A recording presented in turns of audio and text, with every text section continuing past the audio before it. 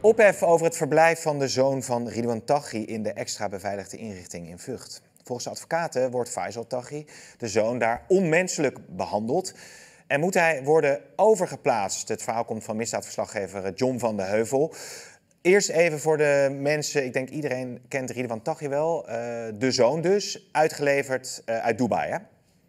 Ja, klopt. Die is daar een uh, ruim een jaar geleden is die daar gearresteerd omdat het justitie het vermoeden heeft dat hij zich uh, bezighoudt met uh, ja, deelname aan een criminele organisatie, drugshandel en uh, andere delicten, waaronder geweldsdelicten. en hij eigenlijk in de ogen van justitie het imperium van zijn vader heeft voortgezet. Hij is opgepakt, hij is naar Nederland gebracht, is met een privévliegtuig overgevlogen en uiteindelijk in de EBI, de extra beveiligde inrichting, geplaatst. Daar zit hij nu. En omdat justitie eh, eigenlijk ten koste van alles wil vermijden dat hij eh, regelmatig contact heeft binnen de EBI met zijn vader, hebben ze hem op een eh, speciale geïsoleerde afdeling gezet. En ja, dat is, dat is natuurlijk geen pretje, want je hebt geen contact met andere gevangenen en dergelijke, maar in de ogen van justitie noodzakelijk om, ja, om hem af te scheiden van, van, de, van zijn vader en te voorkomen dat er weer snode plannen worden beraamd. Ja, want over die snode plannen, er zijn ook gesprekken, versleutelde gesprekken in handen gekomen van uh, politie justitie, waarin ook blijkt dat, dat er misschien wel werd samengewerkt om een ontsnappingspoging mogelijk te maken? Klopt, dat is uh, in de tijd in het nieuws geweest na de arrestatie van een uh, advocatenneef van Ridwan Taghi. Die zou gebruikt worden als een soort doorgeefluik naar de, naar de buitenwereld. En daar in die gesprekken, in die communicatie, is het gegaan over ontsnapping op gewelddadige wijze. Met Navy SEALs, dus speciale commando's en uh, ook gijzeling van, uh, van gevangenispersoneel. Dus ja, uh, toen dat uitkwam, heeft men Ridwan Taghi ook meteen op een separate afdeling gezet. om te voorkomen dat hij nog ongemonitord contact met de buitenwereld kan hebben. En op die afdeling is nu Faisal Taghi ook terechtgekomen. Ja, en, en als gezegd, dat is geen, geen pretje. Want het EBI-regime is al zwaar. En als je dan ook nog als alles en iedereen afgezonderd zit, dan is dat best pittig. En Faisal Taghi is natuurlijk een, jonge knaap, 23. Dus uh, ja, die, die ziet natuurlijk het doembeeld opduiken. Dat hij misschien nog tot in de lengte van jaren daar zit. Dus een advocaat heeft daar nu bezwaar tegen gemaakt. Maar justitie ja, ziet dat als een noodzakelijke maatregel om te voorkomen dat zij vanuit dus vader en zoon vanuit de EBI gewoon door blijven gaan met crimineel handelen. Ja, en als het gaat over die onmenselijke situatie, ja, je schetst het al een beetje, maar ik denk dat jij uh, vanuit jouw ervaring als misdaadverslaggever goed weet hoe dat dan eraan toe gaat bij de EBI, hoe die, hoe die dagen er wellicht uitzien. Wat, wat zou voor hem dan het zwaarste zijn? Is dat inderdaad dat geïsoleerde of, of het, het, het, strakke regime? Kun je daar iets meer inkleuring aan geven? Een combinatie, en ik weet niet precies, ik ken, ik ken hem verder niet, maar wat ik me wel kan voorstellen is A is natuurlijk heel erg eentonig en verschrikkelijk saai als jij gewoon een groot deel van de dag in je cel zit en verder eh, met niemand contact mag hebben. Uh, het is natuurlijk ook de uitzichtloosheid. Je weet niet hoe lang dat gaat duren.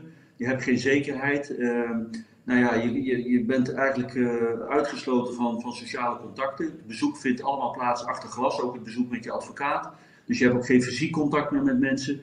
bewaarders, ik weet niet hoe dat nu is, maar die hebben toch een tijd deze, dit soort cliënt of uh, gedetineerden bezocht met een bivakmuts uh, over hun hoofd. Dus je ziet ook eigenlijk helemaal geen, ja, geen, geen, geen mensen meer. Je ziet alleen mensen in uniform met een bivakmuts op. Ja. Dus dat is natuurlijk best pittig.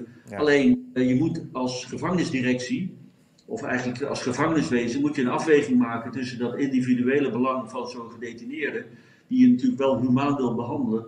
Maar je wilt toch ook voorkomen dat er weer hele ernstige strafbare feiten plaatsvinden. Ja. Ja, en, het verleden heeft aangetoond dat zij daar gewoon hele verstrekkende plannen uh, voor hadden. Ja, nou is er wel iets saillants, uh, John. Want als je het hebt over die, uh, die EBI en waar hij zit... dan doen me wel de namen van Willem Holleder en Sidra op. Want daar zit hij echt heel dichtbij. En is het dan echt zo dat ze elkaar door glas wel kunnen zien? Ja, dat is dus Ridwan. Ridwan is dus van die hele streng geïsoleerde afdeling... Ja. plaatsgebrek overgeplaatst naar een tussen aanhalingstekens normale afdeling. Nou, je moet je voorstellen, de EBI is een soort carousel met, met ja, je zou kunnen zeggen taartpunten. Uh, waar dus uh, een beperkt aantal gedetineerden op een gang met elkaar zitten, op een afdeling. Dat gaat dan om drie, ik geloof drie gedetineerden. En op een van die afdelingen waar Ridwan zit, die grenst aan de afdeling waar Willem Holleder en Said Razouki zitten. En die wordt door een glaswand worden die van elkaar gescheiden. Dus in theorie is het mogelijk dat die, dat die oogcontact hebben. En het zou ook mogelijk zijn dat ze door schreeuwen naar elkaar misschien ja, informatie kunnen uitwisselen. En dat is iets wat, ja, wat, wat misschien zou je kunnen zeggen toch niet heel handig is en onwenselijk is. Maar de omstandigheden in de EBI zijn op dit moment van die aard dat de directie geen andere mogelijkheid ziet. Ziet. En, en voor alle duidelijkheid, je zit eigenlijk het grootste deel van de dag in de EBI in je eigen cel. Maar in theorie is het dus mogelijk dat als je uit je cel wordt gehaald en toevallig ook aan de andere kant van die glazen wand uh, ook een andere gedetineerde eruit gaat, dat die oogcontact met elkaar kunnen hebben en naar elkaar kunnen schreeuwen. Maar uh, ja, is dat een onaanvaardbaar risico? De kans lijkt me eerlijk gezegd ook niet heel groot dat je moordopdrachten naar elkaar gaat schreeuwen als je uit je cel wordt gehaald en, uh, en de, de bewaarder staat er net naast.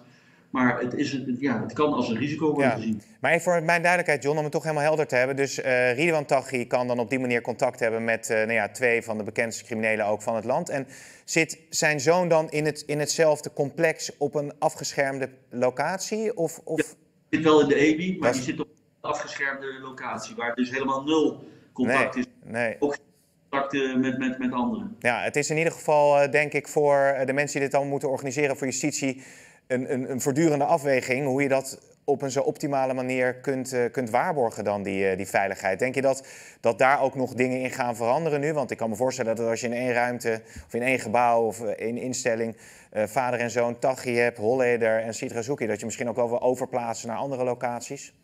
Nou, daar wordt wel hard aan gewerkt om, om dat te verbeteren. Er is geloof ik 30 miljoen beschikbaar nu uh, naar een motie van uh, Ulise Elian en Geert Wilders om dat geld beschikbaar te stellen voor een uitbreiding van de EBI. Dus er komen extra cellen, die zouden in 2026 klaar zijn. En in 2030 is er een extra EBI klaar, die komt in Zeeland. Uh, waardoor je nog meer spreiding kunt laten plaatsvinden. Maar tot die tijd is het een beetje hoe je met de riemen die er zijn. Oké, John van Heuvel, dankjewel.